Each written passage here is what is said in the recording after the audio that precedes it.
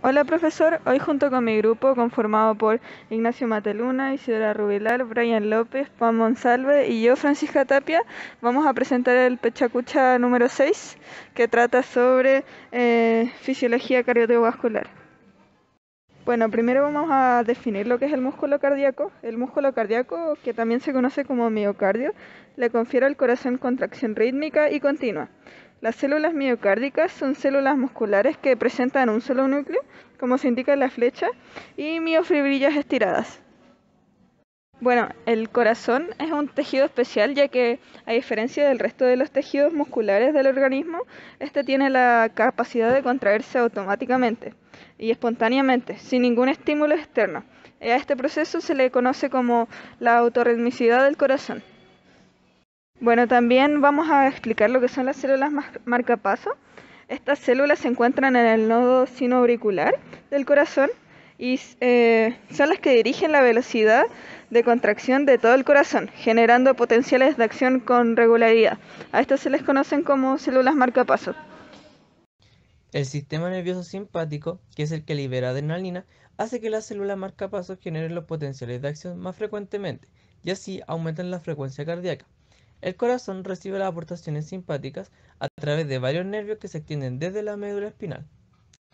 El sistema nervioso parasimpático, que es el que libera acetilcolina, causa una disminución de la frecuencia de los potenciales de acción que son generados por las células marcapasos y así disminuyen la frecuencia cardíaca. Su única vía son un par de nervios craneales llamados los nervios vagos. Estos dos sistemas trabajan en conjunto. Las células cardíacas cuando son estimuladas, estas son despolarizadas, habiendo cinco fases principales de esta despolarización. La primera fase, que es la cero, es en donde se abren los canales de sodio, ocasionando que el interior de la célula se vuelva cada vez más positiva.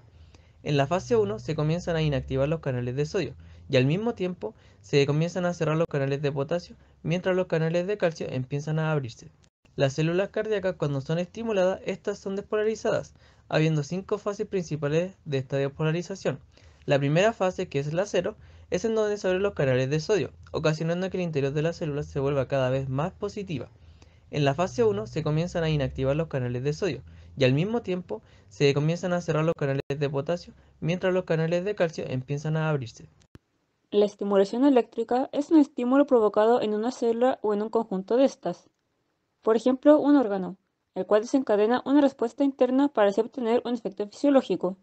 Un ejemplo es la contracción o dilatación del corazón.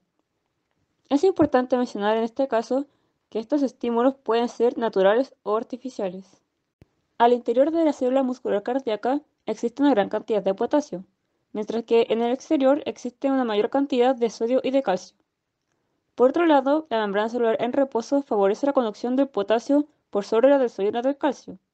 Esto significa que el potencial de membrana en reposo de las células cardíacas se determina principalmente por la proporción entre las concentraciones extra e intracelular del potasio. Existen algunos factores que pueden afectar a la frecuencia cardíaca, ya sea positiva o negativamente. Positivamente es cuando aumenta la frecuencia cardíaca, por el contrario, negativamente es cuando disminuye su frecuencia. Un ejemplo de esto son la adrenalina, la cual aumenta la frecuencia cardíaca, y un ejemplo negativo sería la pirocarpina, la cual disminuye su frecuencia cardíaca. Es importante mencionar que estos factores también pueden afectar a otros sistemas y órganos del organismo. Los objetivos de esta actividad son definir qué es autorritmicidad, nódulo sinoauricular, células marcapasos y nervio vago, entender los efectos del sistema nervioso simpático y parasimpático y cómo estos afectan la frecuencia cardíaca, entender las cinco fases de potencial de acción cardíaco, enumerar diferencias clave entre músculo cardíaco y músculo esquelético, Saber definir periodo refractario absoluto y periodo refractario relativo. Por último, entender y explicar efectos de cada uno de los siguientes factores sobre el corazón. Adrenalina, pirocarpina, atropina, digitálicos, temperatura y algunos iones.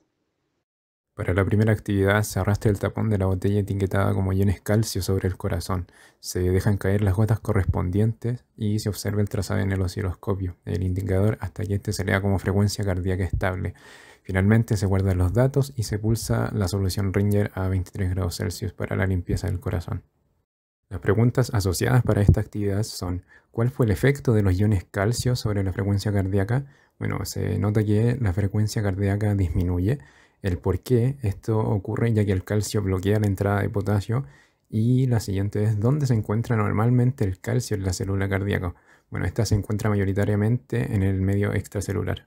Para la siguiente simulación los pasos son los mismos que la actividad anterior, solamente que ahora se arrastra la botella como iones de sodio sobre el corazón y se dejan caer las gotas correspondientes. Se observa el trazado en el osciloscopio y se establece hasta una frecuencia cardíaca estable.